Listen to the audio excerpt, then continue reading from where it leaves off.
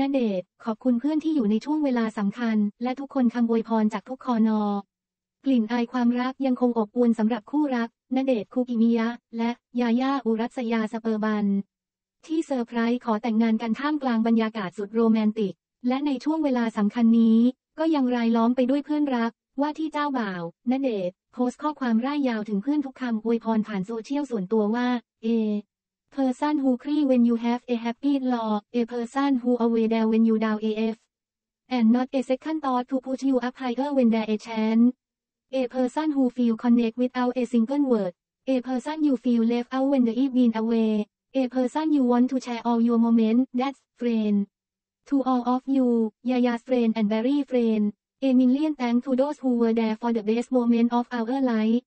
and those who couldn't make it but away got our back. That's our friend. We will be seeing you through the rest of our life